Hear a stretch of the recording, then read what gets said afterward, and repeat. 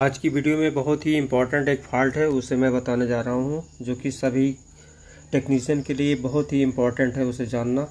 ये देखिए, ये लुमिनस है और ये मॉडल है प्रो यू पी एस बाईस पचास।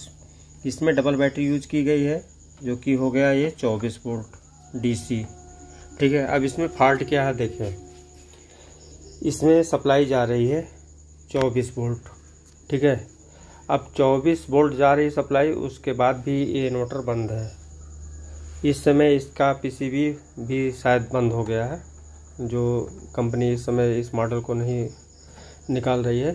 तो यहाँ पर देखिए, ये प्रॉब्लम आ जाता है। इसमें सबसे पहले यहाँ पे जो 24 वोल्ट आ रहा है 24 वोल्ट, वो यहाँ पर आता है। इसके बाद भी ये पीसीबी वर्क नहीं कर रहा है, यानी सामने यहाँ पे कोई भी डिस्प्ले नहीं है। अब इशू क्या है? यहाँ पर देखें, सबसे पहले यहाँ 24 से 12 बनाया जाएगा, यानी 12 वोल्ट बनाया जाएगा। अब ये 12 वोल्ट एक बार ये फॉल्ट हो चुका है। यहाँ पर दिखा दें आपको।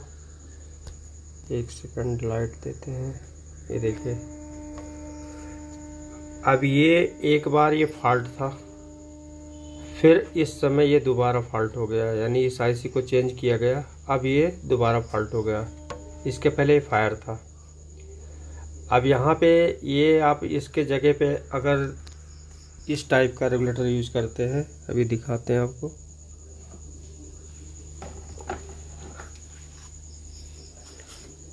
इस टाइप का अगर रेगुलेटर यूज़ करते हैं, अठहत्तर बारह, ठीक है?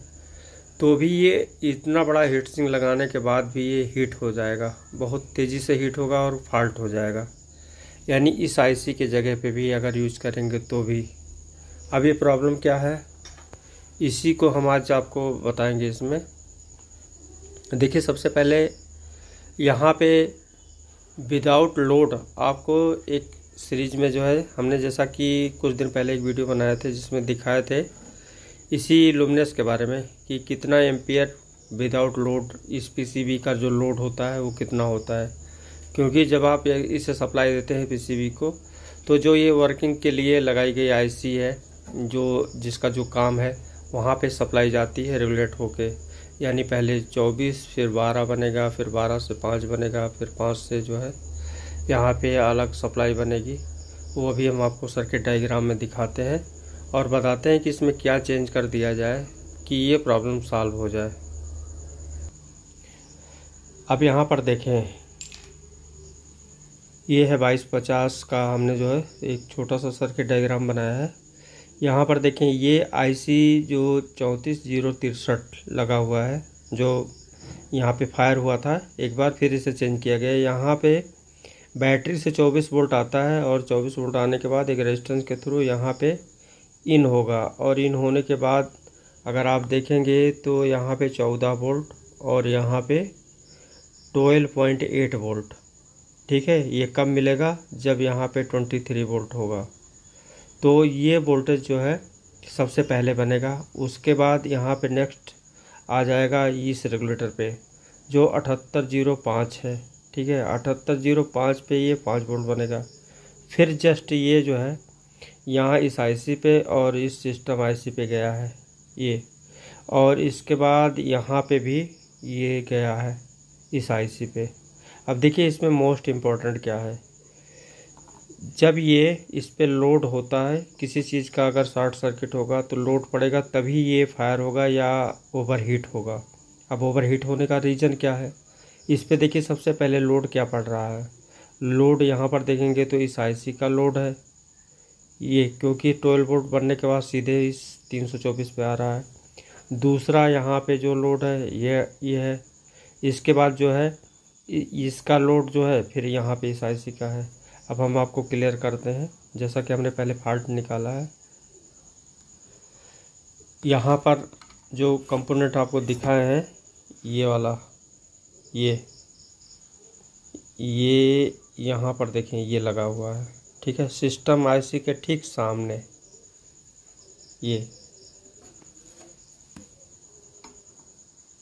ये बहुत ही इम्पोर्टेंट है, अभी हम आपको बताते हैं।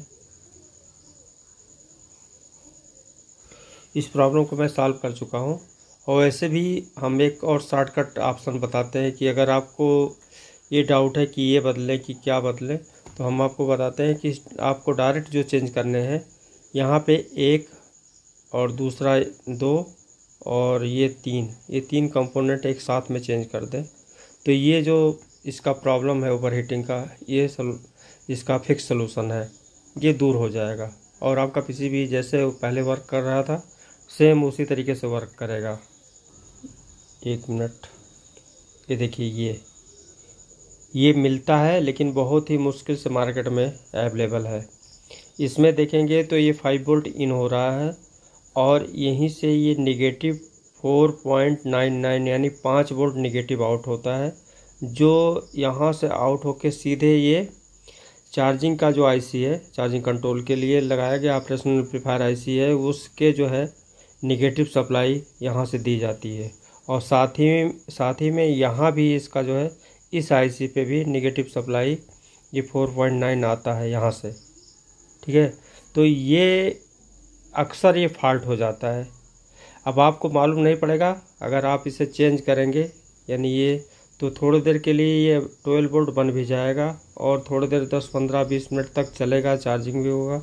उसके बाद थोड़ी देर बाद ये फायर हो जाएगा। ठीक है? अगर बैटरी चार्ज होगा या सॉरी डाउन होगा तो उसी समय ये, उस कंडीशन में तुरंत भी फायर हो जाता है कभी कभी और कभी कभी आधे घंटे बाद फॉल्ट हो जाता है। तो इस कंडीशन में आप इसको और इसको इसको तीनों आईसी को एक साथ चेंज कर दें तो ये प्रॉब्लम दूर हो जाएगा। क्योंकि यहाँ पे सबसे पहले चौबीस से बारह बनाया जाएगा, बारह से पाँच, फिर पाँच से यहाँ पे नेगेटिव रेगुलेट किया जाएगा। और ये जो है, यहाँ से एक कैपेसिटर लगा होता है, यहाँ ऐसे। अभी हम दिखाते हैं। तो ये इधर इसका नेगेटिव हो गया कैपेसिटर का, ये यहाँ पे जुड़ जाएगा, और ये पॉजिटिव वाला, ये यहाँ पे जुड़ जाएगा। ठीक है? तो ये ये निगेटिव भी यहीं से दिया गया है। अभी हम इस कैपेसिटर को दिखाते हैं, यहाँ पर देखेंगे। तो एक मिनट। ये है और यहीं पे सामने यहाँ दो पॉइंट बने हैं, ये। अब इसको अगर ऐसे पकड़ कर देखेंगे तो यहाँ पे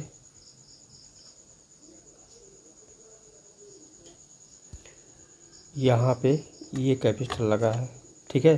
क्योंकि वो आईसी जो बताए हैं, इस सिस्टम आईसी के जस्ट सामने यहाँ पर लगा हुआ है और यही ये कैपेसिटर है। अब इस पुराने पीसी में से हम निकालेंगे, इसको और इसको इसको तीनों को चेंज करेंगे। अब यहाँ पर अगर देखें तो यहाँ बी सी भी ये साफ़ है, ये कैपेसिटर है, ठीक है?